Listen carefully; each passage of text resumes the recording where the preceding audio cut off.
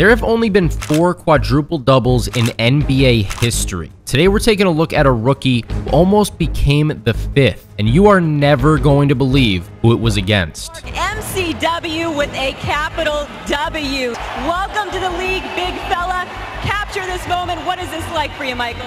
Uh, just an unbelievable moment. Meet Michael Carter Williams, the 11th overall pick in the 2013 NBA draft selected by the Sixers. What NBA player do you compare yourself to? Deron Williams, he's a he's a big point guard. So Rondo, I like his game a lot. So Ooh. and um, Jason Kidd's a person that you know I, I, really tried to model my game after. So two of those three guys fill the box score. They don't just get the 14 and 8 or the 20 and 7, but they also get five, six rebounds. Yeah. So you feel like you can do that at the pro level? Yes. I'll tell you my biggest fear for you. Is this too early? Is this a year too early for him? How do you feel about that? You know, I'm a competitor. You know, I look at the guys that are that are going into the draft, and I'm like, well, if they can go, then then why can't I? You know, I can I can compete with them any any day of the week. I do have concerns, however. I have to ask you, my young man. 39% shooting from the field, 29% shooting from three-point range, 69% shooting from the free throw line. And I'm thinking if you have struggled with the perimeter shot, you're going to have trouble on the next level until you correct that, sir.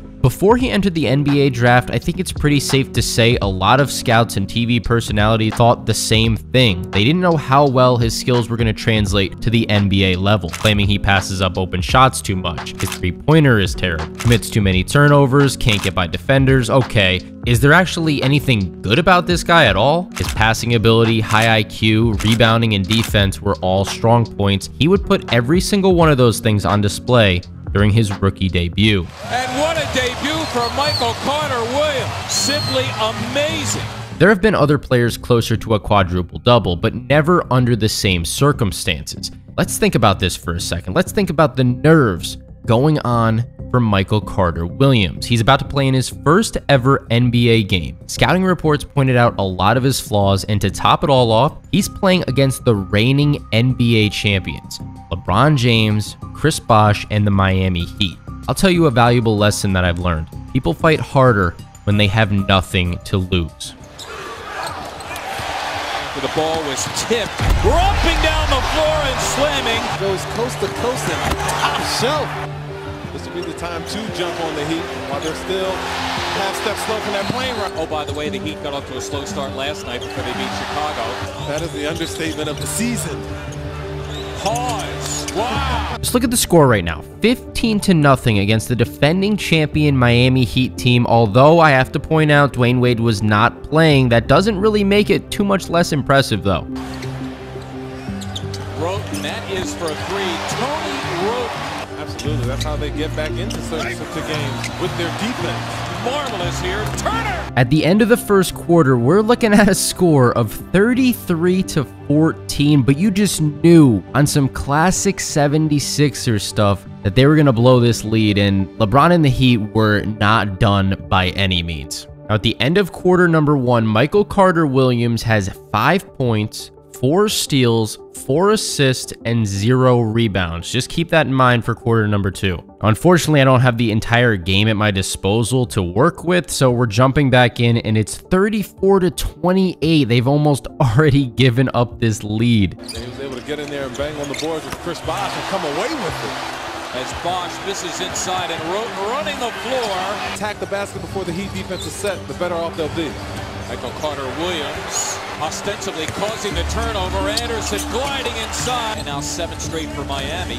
And it's back to six as Thad Young glides in. He started this game for Dwyane Wade, who is taking the night off. They got this interview with AI going on right here. Who does this man think he is? One of the greatest Sixers players to ever wear the uniform? Come on, get off the screen. We're trying to watch greatness here. So after that clip, the Sixers gave up four straight points, which means we are only up two heading into halftime. Checking up on Michael Carter Williams' stats, he's got 11 points, 6 steals, 7 assists, and 2 rebounds heading into the third quarter. Against the defending champion Miami Heat, you think they're not going to come out with a vengeance in the second half, try to put you in the dirt? Because that's exactly what happened.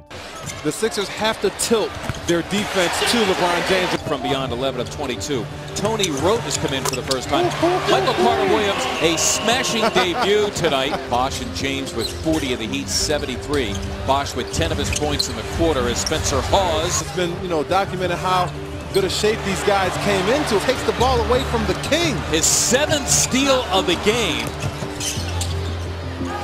That's a three on the way from James nice. Anderson. At the end of three quarters, we're looking at 19 points, seven steals, nine assists, and four rebounds. I mean, this kid from Syracuse is single-handedly keeping the 76ers in this ball game with how many points he's accounting for. Carter Williams back, James Anderson joining him in the backcourt. Still adding to the record, Turner, oh, and he missed the layup. Um, you know, a push and bump back or a push and full rotation. Hawes for three. Yes! Nearly two minutes remaining in this game. 76ers are down by one point. This is a situation that you dream about, that you imagine in your driveway when you're shooting up hoops late at night. You pretend you're in this situation where you have a chance to take down the NBA champions and maybe even LeBron James. I've done it in the past. I know you guys have too. Chalmers under lock and key, loose ball. Sixers look to go in front. Carter Williams for Hawes. Yes! Dead. LeBron James. Nice. Michael Carter Williams. He took it away. Gliding in. Missed it. Anderson on the follow. Ball is loose. Who's got it? What is going on with Evan Turner in this game? Like, please, man, we need you to make these layups. These are essential layups to be made. I know you're a little bit nervous. You're playing the Heat. I understand, but we need you, my guy. Come on. He's 100% thinking about LeBron coming and chase down blocking him. If I was in a situation, I'll admit it, I would be thinking the same exact thing. So I guess I can't blame him. James for the lead against Hawes. Forced it up. Rebound taken by Michael Carter Williams. Got seven boards. Yeah, man. One of these days he's going to get a quadruple double. Six-six frame, getting up on the glass, out rebounding the power forward Chris Bosh. Adding to that record for an NBA debut. Sixers, even though Dwyane Wade was not in the building, they beat the Big Three. Smashing debut tonight.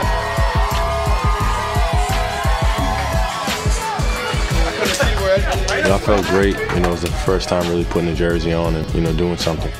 Great start. I'll see you next time. Uh, the team played great. The, the crowd was awesome. I was excited. So uh, I'm just glad we came up with the win. All right, Derrick Rose on this floor Saturday. Uh, I'm ready. Do you want to know what happened when Derrick Rose took the floor that Saturday? Well, I'll tell you. The 76ers started out this season 3 and 0. Derrick Rose on that Saturday, 8 turnovers, just 13 points on 4 of 14 shooting. Michael Carter Williams in that game, 26 points, 4 turnovers, 10 assists, 4 rebounds, and 3 steals to go along with it. I mean, this rookie looked like he had everything going for him. I would love nothing more right now than to tell you the fairy tale ending that you are looking for, that Michael Carter Williams has gone on to have an amazing career, maybe Hall of Fame caliber player in the future, and that would be the biggest load of baloney that I could ever serve you on a sandwich. It has went the complete opposite direction for him. Honestly, a lot of people think that this first game was his peak of his entire NBA career, which is extremely sad to say. And the 76ers on that season went 16 and 66. We just talked a second ago about how they started out the season 3 and 0. They only won 13 games for the rest of the season. But I guess one good thing about this is that at least Michael Carter Williams won the Rookie of the Year award. At this point in time, I'm 26 years old. I have not been alive for a single quadruple double to witness one yet. Will I ever? Do you guys think there's ever going to be another quadruple double in the NBA during our lifetime?